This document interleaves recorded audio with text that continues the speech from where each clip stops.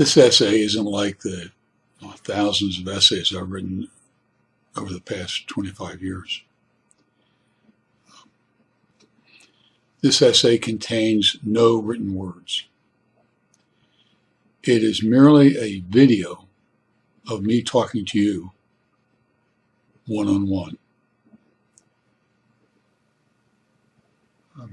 The other day I wrote an essay from a web page uh, about the uh, better angels of our nature. And in that video uh, and essay, uh, I talked about looking into my eyes. And also looking into the eyes of somebody else.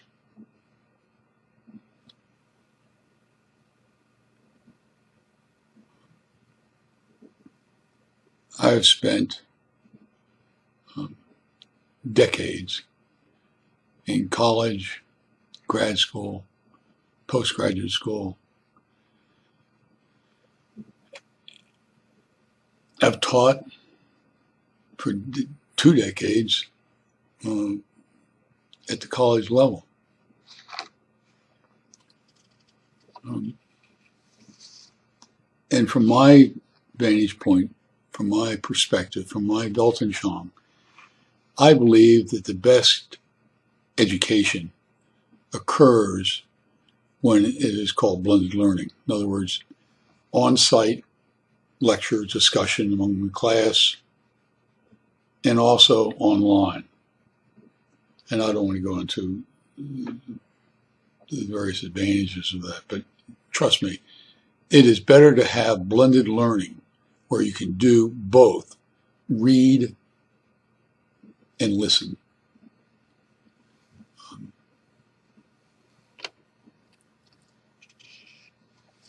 and and one of the one of the aspects of the advantage of blended learning is not only can you can you write things out in an orderly way and, and systematically and paragraph by paragraph by paragraph and explain it in detail, but you also give the student the opportunity to watch you and how you conduct yourself.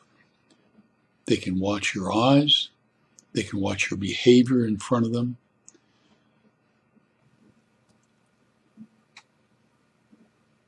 And I, I really believe it. If, if I was in charge of all education in the world, all education in the world would be done via blended learning. Um, and for the last three and a half years, I've used uh, an attempt at blended learning on my webpage. And I owe a great deal to uh, Clarence Page, who writes for the Tribune, because I was looking up something that he had said um, several years ago. And I, I couldn't find it, so I just simply went to the Trib's webpage. And what did I discover when I got to pages part of the web page. He was introducing his op-ed column by prefacing it via you know, a video. This is what I'm going to talk about. I want you to understand it. Da, da, da, that was the end of the video, and you watched or you read the, the essay. From that day on, for the last three and a half years, every essay has been blended learning a video and a uh, and the text.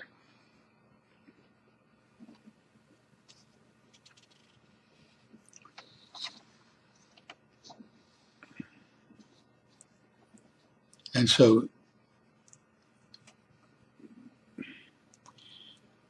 this video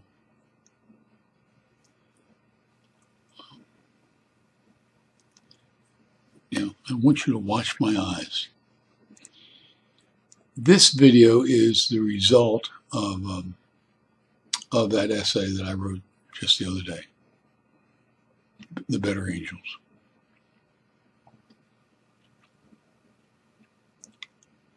Um, And for me, that experience of um, of that essay uh, was transformative to me or for me. Um, in my opinion, what happened in Charlottesville is an axial, axial event. Um, we have uh, moved from going in one direction in the United States to another. And that's the axial event, the, the, change of directions. Not so much a change in directions, but more a change of intensity in the directions.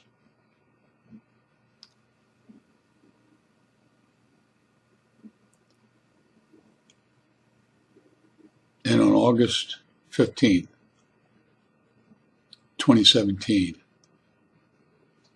there was an axial event, at least in my mind, but also in the minds of millions of Americans.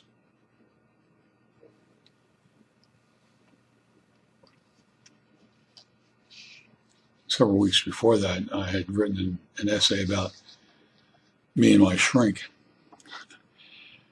my shrink is a former student of mine who I've had in two classes.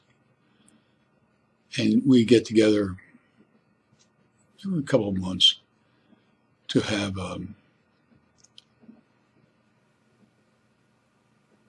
to engage in psychotherapy. And he, um, we have a breakfast together, and the breakfast lasts from like 8.30, 9 o'clock till near noon. And the last time I was there um, at a restaurant in Chicagoland, I told Chris, I said, there's a bunch of things I want to talk to you about. And I rattled them off. There were about seven. And um, as if, as if we were going to address all seven of them. But one of the one of the things that we did address was a statement from me about and, and I, am telling you honestly, I don't fully understand it. And the, and, and, and the words, the words I've chosen is, is, is probably not the best word.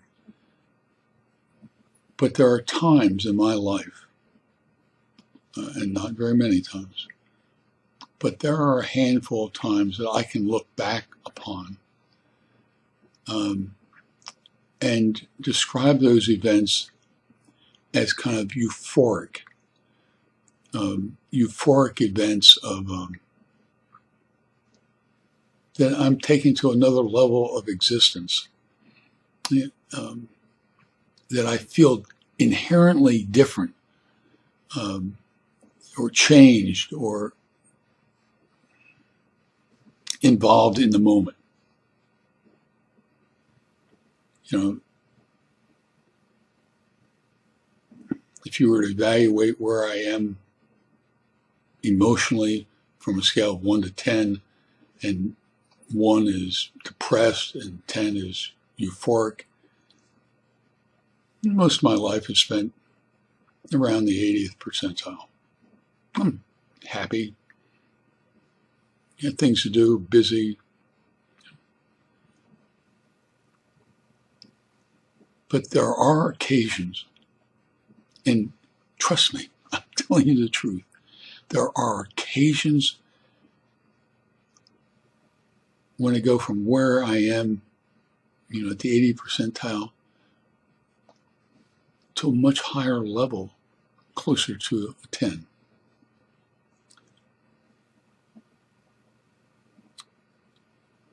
And, and, you know,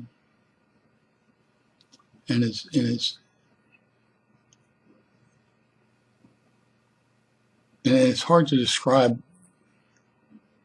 It, it, it's hard. I'm just telling you, it's hard to describe them. I'm going to tell you how I feel about it. When those events occur, you know, it's not that all the problems in the world have been resolved and we're going to live in paradise forever, comma, but you at least have a sense. And when I was writing that essay um, about what Lincoln said during his first inaugural about the better angels, that euphoric feeling came back. Trust me. And writing that essay kind of congealed all of my feelings emotionally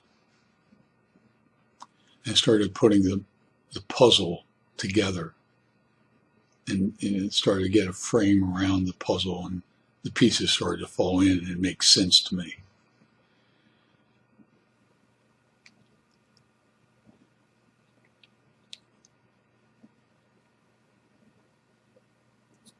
Four years ago, uh, during winter break from teaching, I spent a month in Myanmar, used to be called Burma. And um, I'd gone to uh, Burma or Myanmar to uh, try to interview the lady, Daw Aung San Suu the single most important woman in the entire world when it comes to human rights. She has done more for human rights at a greater cost to her physically and mentally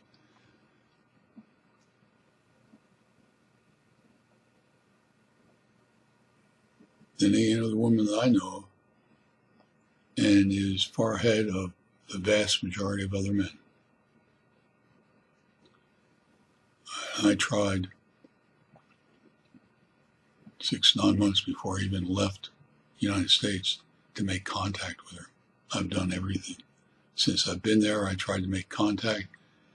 In the four years since I've been to Myanmar, I have talked to the American Embassy. I've done everything they have told me to do, and I have not been successful.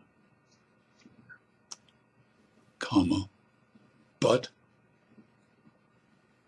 in about four months, I'm going back to Myanmar. I haven't heard from the lady,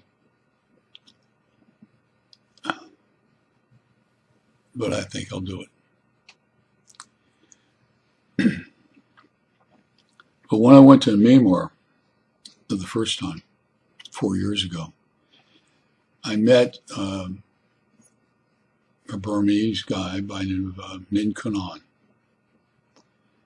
And in my estimation, in my personal estimation, Min Ko Naing is is Bobby Kennedy in Burma.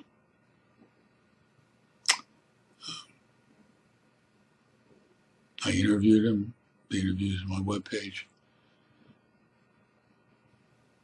And um, I was there during winter break, but I wanted to make sure I'd be there on January 4th, which is the Burmese or Myanmar's Independence Day from the British. And I was invited to uh, a luncheon at the 8888 Generations headquarters in Yangon. And I met all the old guard.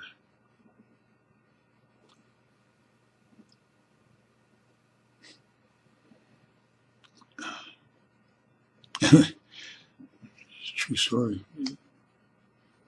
Someone would come in and someone would go, eat and go, and some more people would come in. And, I couldn't understand the what was happening, but I was having fun talking to all these people. And in the middle of this luncheon, that was kind of a, an ebb and flow luncheon, people coming in and coming and going. Min Ko Naing leans behind somebody and goes over toward me and says, uh, What time's your plane leave tonight to go back to the States? And I said, Like nine, eight or nine o'clock tonight. And he says, At noon. And then he smiled and he said, um, Would you like to go to a protest rally at Sule Pagoda today?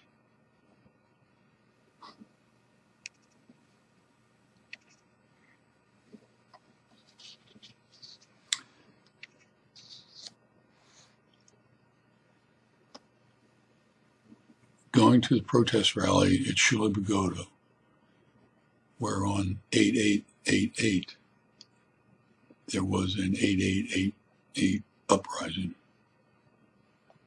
where the military dictatorship came in and just shot people, killed them. Because on August 8th, 1988, the Burmese people wanted freedom.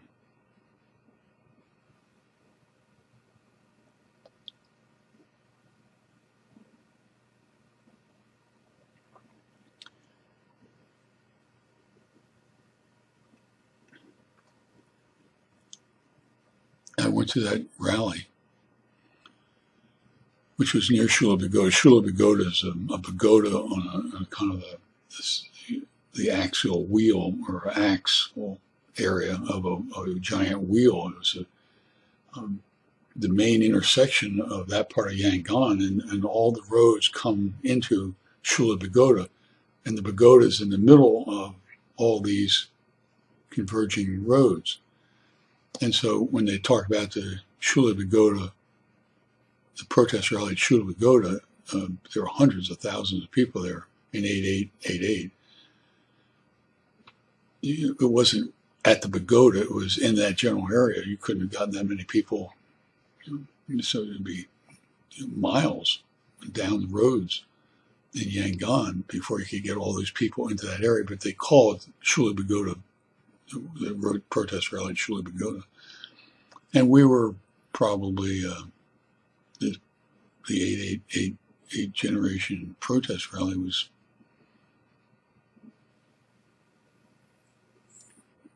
probably a quarter of a mile from Sule Pagoda.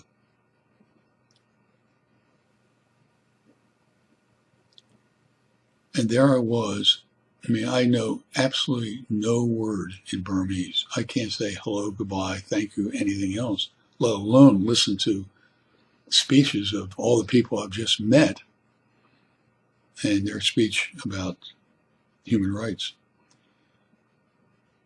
And so all that I did for an hour, or two hours walking around this protest rally was to uh, look at the protesters.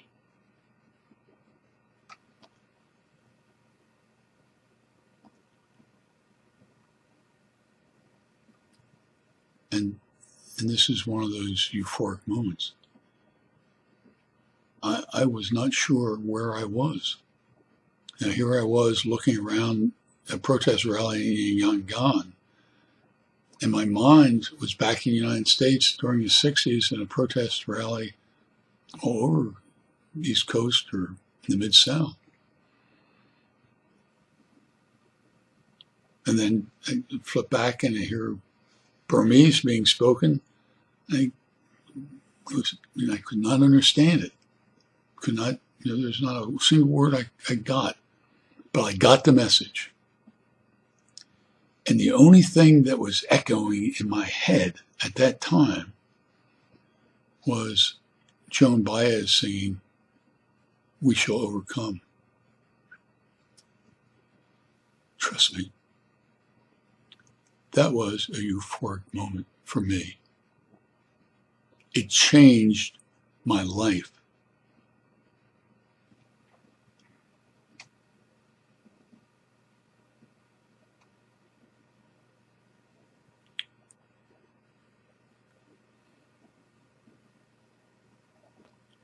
Prior to going to that protest rally, I traveled in the uh, what they call the tourist triangle and uh, Burma is a great country. Of all the places I've been in the world, that is the one place you know, that, that radically changed who I was. But I went up to a place um, um, in northern Burma, northern part of that tourist triangle, a place called Inle Lake. And um, my tour guide was a young woman by the name of Momo. And um, I was going from that place to someplace else, and she had to get some paperwork. And so she went, she said, you mind if we stop by my place, pick up the paperwork, and then I'll take you to the next location and say goodbye? Uh, and she said, um, and I said, No, no problem with that. She said, um, Also, you could meet my daughter, who, who at that time was nine years old. And her name is Titi. I walked into their living room, and there was a nine year old girl standing with a big smile. And she said, My name is Titi. Do you want to play some games with me? And I said, What kind of games do you know? She said, Do you know how? She said to me, Do you know how to play Scrabble? we sat on the floor in their living room playing Scrabble for an hour. And that was a euphoric moment for me.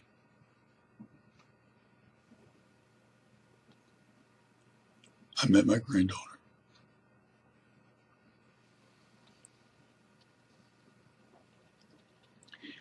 And it's, and you know, go to my webpage and just write TI space TI.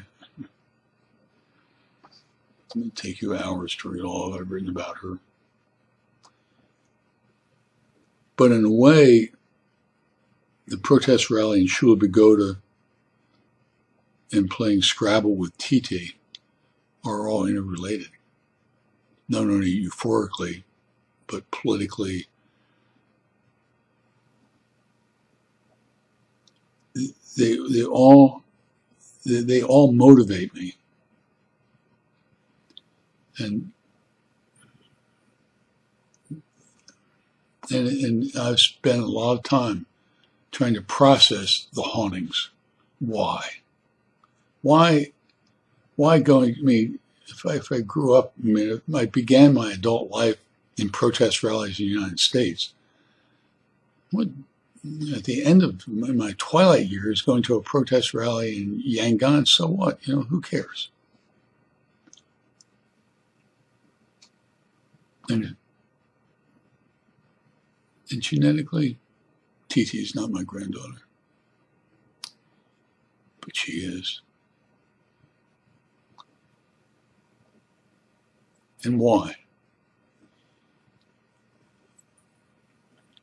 Ten years ago, almost, almost exactly ten years ago, in 2008, I danced with death twice.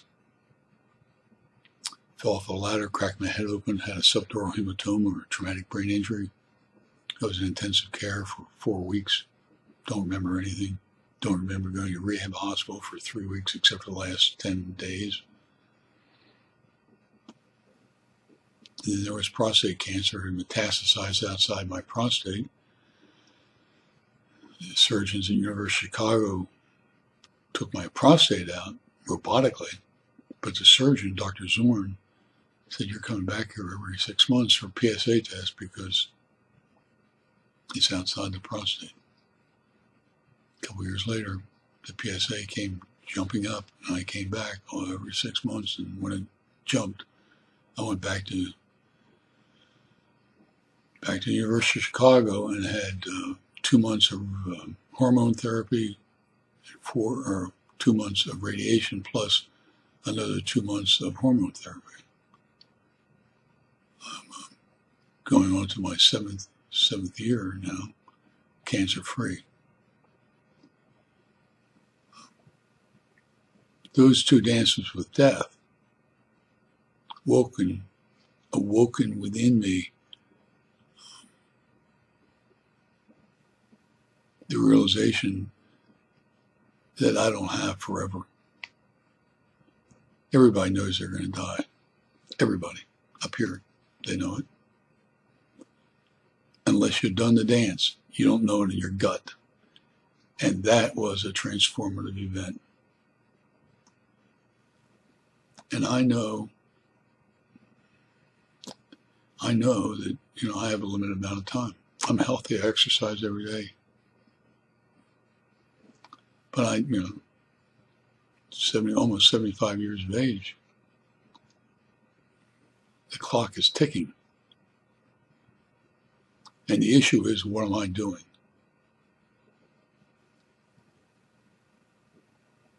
And it has to do with legacy. I'm not going to be the president of the world. I'm just going to be me.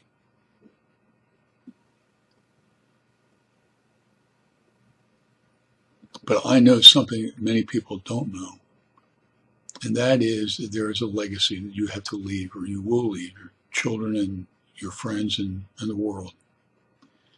And that legacy is what you give to the world because of what the world has given to you. I don't have any money. Divide that up between my kids and my grandchildren. When I go, I can make them rich. But the legacy is what you have left the world and how you have left the world a better place. I told you about being Sule Pagoda and flipping between Yangon and America, back and forth. You know, it was almost dizzying. I mean, I knew where I was, but my head was in another world, in another place, at another time.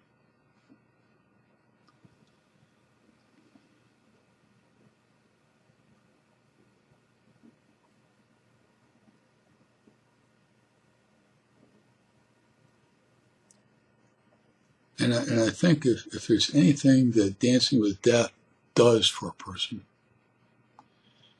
it is, at least it should, did for me, it should awaken you to the meaning of living and also the meaning of that your the clock is ticking. So you better get your you know what in gear.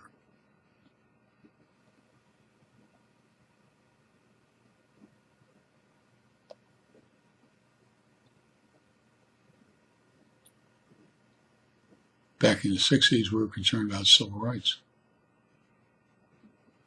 As if we fought for civil rights and we got it in the 60s, and now we can go on fighting for something else.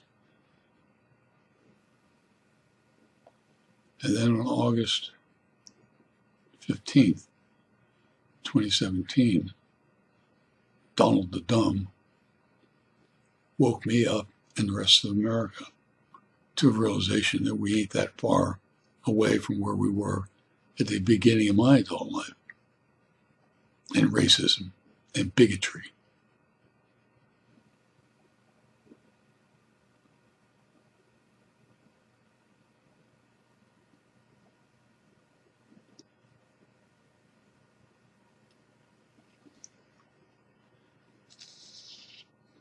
And so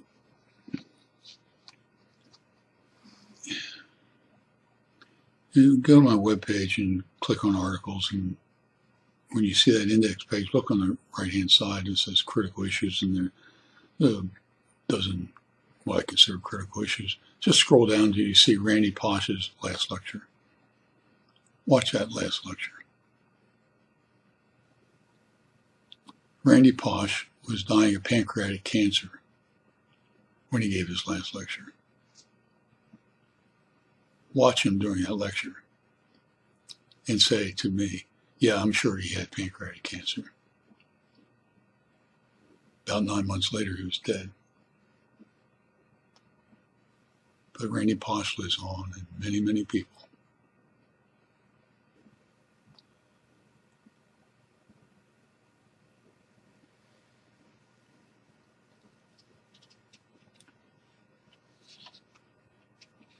And there I was playing Scrabble with a nine year old gal who, you know, she, and, and the interesting thing about TT is that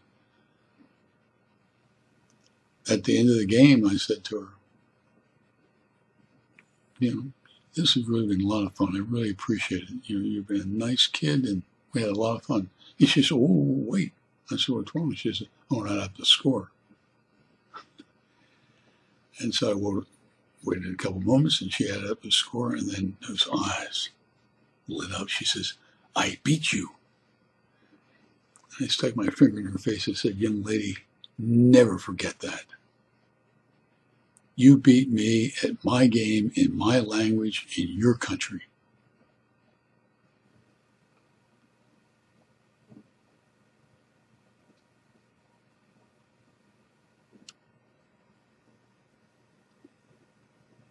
I'm proud of TT. I'm proud of Min Ko Naing. I'm proud of the lady. I'm proud of the Burmese people who are struggling to survive.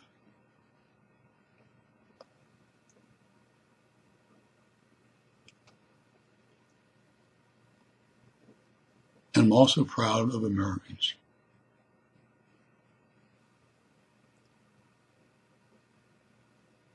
Who understand the issues of human rights and civil rights and equality.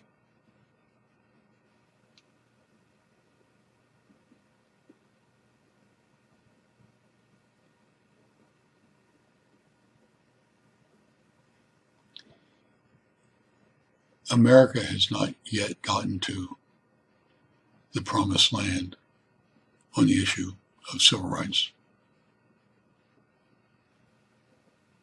Comma. But on August 15th, 2017, there was an actual, an axial event, a change, a change that motivated most Americans to move to a higher level.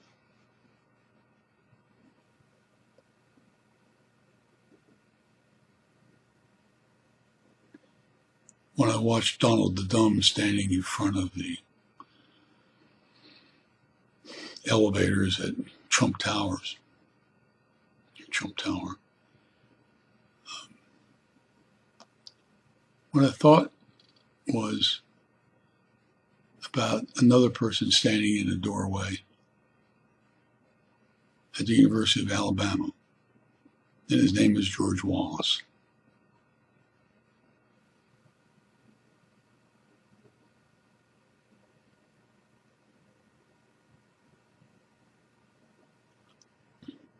I didn't see any difference. Donald Dumb is no better than George Wallace. Wallace said that 54 years ago.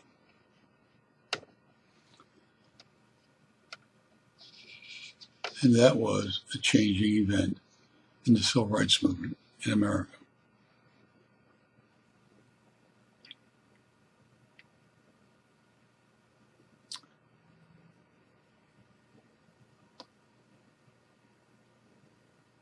During Lincoln's first inaugural address,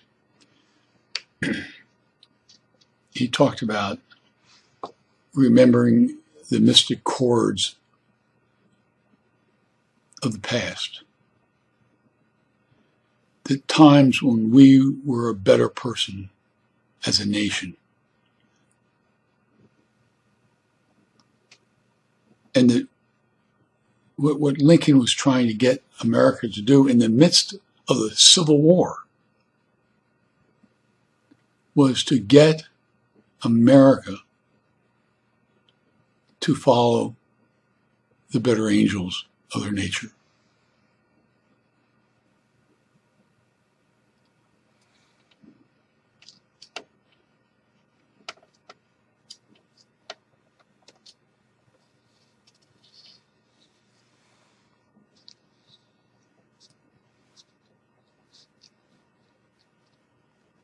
It's interesting to me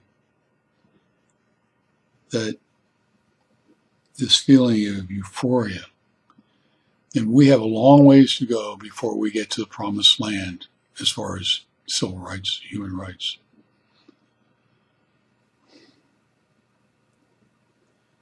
But we are moving.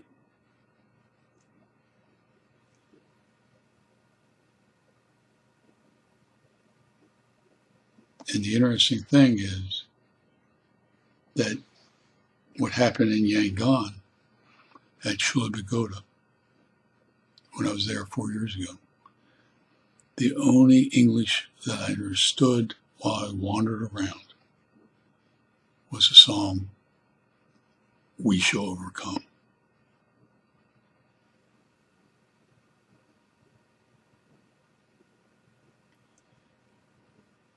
There ain't nothing I can do about Donald the Dumb.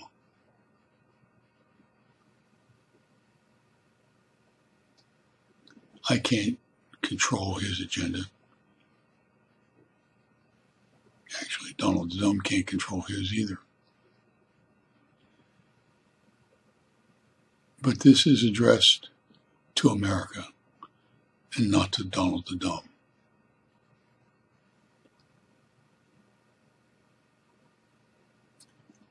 We shall overcome. And in the next weeks and months, that song will resonate throughout our nation like it did back in the 60s. We shall overcome.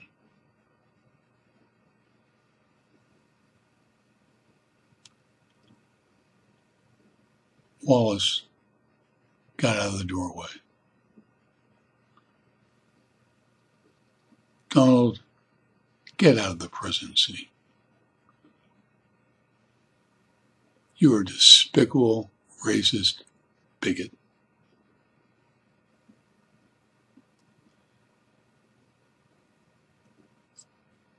America will overcome. Believe me.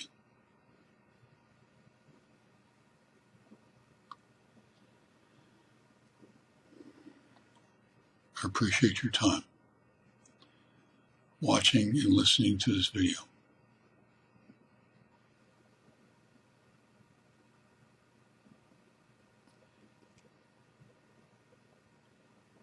What we need to do is listen to the better angels of our nature.